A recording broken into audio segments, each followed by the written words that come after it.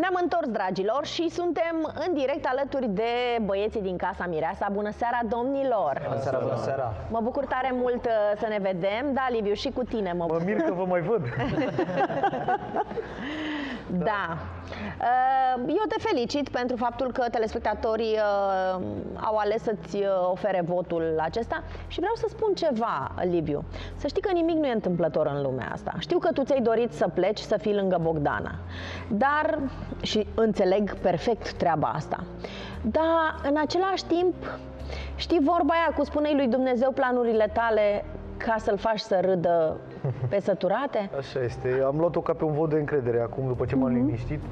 Vă recunosc că am și discutat cu ea la telefon.